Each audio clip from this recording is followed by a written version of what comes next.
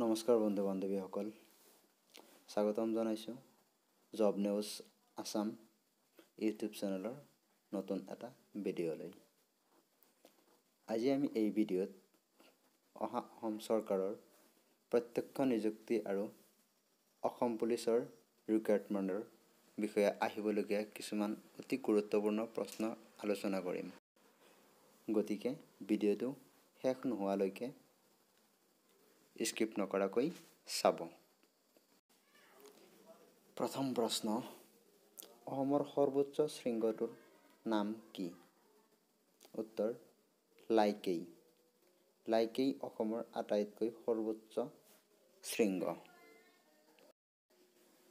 দুই নম্বৰ প্ৰশ্ন Lala rail junction ক'ত অৱস্থিত? উত্তৰ লালা জংচন বৰাক উপত্যকাত অৱস্থিত। তিনি নম্বৰ প্ৰশ্ন। কলিকতাৰ পৰা ঢাকা হৈ শিলচৰলৈ প্ৰথম ৰেল কেতিয়া আহিছিল? উত্তৰ ওঠৰশ পঞ্চাছ চনত আহিছিল। চাৰি নম্বৰ প্ৰশ্ন. উত্তৰ an ভাৰতৰ. দুৱাৰমুখ বুলি কোনখন চহৰক জনা যায়। উত্তৰ গুৱাহাটী চহৰক উত্তৰ পূব ভাৰতৰ দুৱাৰমুখ বুলি জনা যায়। পাঁচ নম্বৰ প্ৰশ্ন অসমৰ কোনখন জিলাত নগৰীয়া জনসংখ্যাৰ অনুপাত বেছি? উত্তৰ কামৰূপ। কামৰূপ জিলাত নগৰীয়া জনসংখ্যাৰ অনুপাত বেছি। ছয় নম্বৰ প্ৰশ্ন কিমান চনত কলিকতাৰ পৰা ব্ৰহ্মপুত্ৰইদি ব্ৰহ্মপুত্ৰ সমতললৈ জাহাজ চলাচল আৰম্ভ হয়? উত্তৰ সোতৰশ ঊনপঞ্চাছ চনত আৰম্ভ হয়।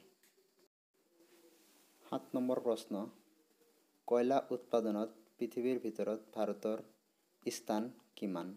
উত্তৰ তৃতীয় স্থান। কয়লা উৎপাদনৰ ক্ষেত্ৰত পৃথিৱীৰ ভিতৰত ভাৰতৰ স্থান তৃতীয়। আঠ নম্বৰ প্ৰশ্ন ভাৰতত থকা মাতৃভাষাৰ সংখ্যা কিমান? উত্তৰ ষোল্লশ বাৱন্নটা। ভাৰতত সৰ্বমুঠ ষোল্লশ বাৱন্নটা মাতৃভাষা আছে। ন নম্বৰ প্ৰশ্ন দুহেজাৰ এক চনৰ লোকপিয়ল মতে ভাৰতত শিক্ষিত লোকৰ হাৰ কিমান? উত্তৰ পঁয়ষষ্ঠি দশমিক তিনি আঠ শতাংশ। দহ নম্বৰ প্ৰশ্ন ভাৰতৰ কোন অংশক ব্ৰেড বাস্কেট বুলি কোৱা হয়? উত্তৰ উত্তৰ ভাৰতক।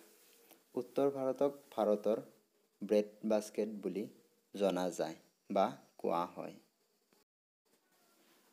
এঘাৰ নম্বৰ প্ৰশ্ন ভাৰতৰ প্ৰথমটো কপাহী বস্ত্ৰৰ কাৰখানা। কোনখন ৰাজ্যত প্ৰতিষ্ঠা কৰা হৈছিল? উত্তৰ পশ্চিমবংগত পশ্চিমবংগত ভাৰতৰ প্ৰথমটো কপাহী বস্ত্ৰৰ কাৰখানা প্ৰতিষ্ঠা কৰা হৈছিল। বাৰ নম্বৰ প্ৰশ্ন। ঊনৈছশ একাত্তৰ চনৰ লোকপিয়ল মতে ভাৰতৰ শিক্ষিতৰ হাৰ কিমান? উত্তৰ চৌত্ৰিছ দশমিক চাৰি পাঁচ শতাংশ। ঊনৈছশ একাত্তৰ চনৰ লোকপিয়ল মতে ভাৰতত শিক্ষিতৰ হাৰ চৌত্ৰিছ দশমিক চাৰি পাঁচ শতাংশ।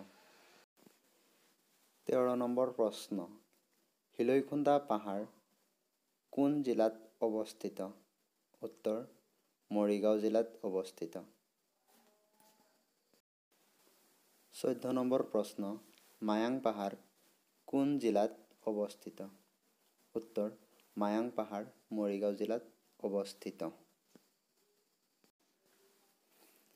এইখিনি আছিল আজিৰ ভিডিঅ' ভিডিঅ'টো যদি ভাল লাগিছে ভিডিঅ'টোত এটা লাইক কৰিব আৰু এনেকুৱা ধৰণৰ প্ৰয়োজনীয় ভিডিঅ' পাবলৈ চেনেলটো ছাবস্ক্ৰাইব কৰিব। ভিডিঅ'টো শেষলৈকে চোৱাৰ বাবে ধন্যবাদ। আপোনাৰ দিনটো শুভ হওক।